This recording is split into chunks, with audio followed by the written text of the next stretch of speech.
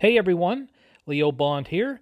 I'm back again today for the Best Buy Canada blog, and this time I'm taking a look at the Philips Hue Smart Bluetooth Plug, which is a new product from Philips Hue, the folks that are known for their different smart lights and anyway, this particular smart plug is something a little bit different from some of the other smart plugs that are out there on the market.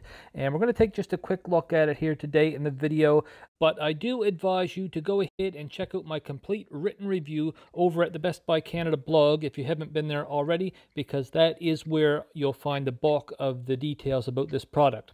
But anyway, this particular smart plug does have your pretty much your standard smart plug features. So for instance, it is is app controlled and you can also use it with voice control if you happen to have a smart voice assistant such as the Amazon Alexa or Google Home and that allows you to turn off whatever or turn on whatever is plugged into it just by telling it to come on and go off and you can also do things like setting up scenes as well so if you want to be able to create and save a particular pre-programmed setup that you can then control at just the touch of an icon you can easily do that as well and that tends to come in really handy if you're using it to control lights because that's one of the really cool things about this is that it can turn non-smart lights into smart lights. And of course, it's also perfectly engineered to work with your existing Philips Hue products, such as Philips Hue lights, of course, but unfortunately, with that, uh, it is a bit of a point of contention with me because if you're not an existing Philips Hue client, you will be rather limited in what you can do with this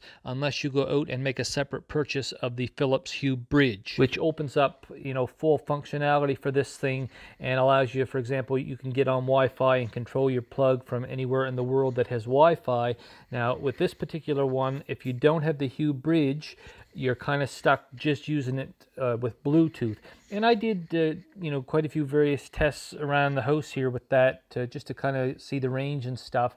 And it is very good. It works from outside. I probably got maybe as far as 80 feet away from the house at times. And it always worked. Uh, the light that I had plugged into it, I used a lamp. It would come on, it would go off, whatever I wanted it to do. Uh, no problems that way setting it up was very easy. The only issue that I had was initially I didn't realize, and it wasn't really clear in the instructions, that this one actually has its own separate app. So it doesn't run on the standard uh, Philips Hue app you actually have to download the Hue uh, Bluetooth or BT app. And, you know, it is a free app, free download. Uh, it works with iOS or Android-based phones. Pretty much your standard stuff that way. But like I say, you need the Philips Hue Bridge in order for it to, uh, you know, kind of open up all the possibilities with this. So anyway, that's all I'm going to say about this particular smart plug for now. But like I say, do go ahead and check out the complete written review over on the blog.